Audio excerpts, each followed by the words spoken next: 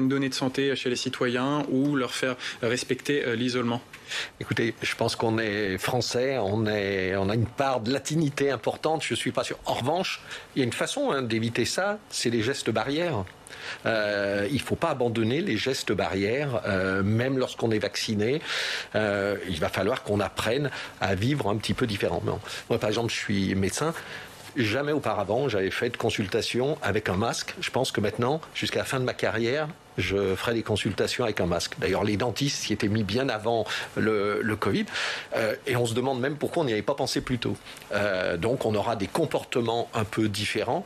Euh, je pense que si la population est sensibilisée, on ne va pas s'agglutiner dans un magasin à serrer les uns contre les autres, mais respecter un peu une certaine distanciation. On sait combien de personnes peuvent rentrer, même dans une grande surface, pour respecter des, des ratios qui soit supportable, peut-être qu'il faut apprendre à, vivre. C'est une façon de respecter les autres, d'apprendre à vivre ensemble en respectant certaines règles.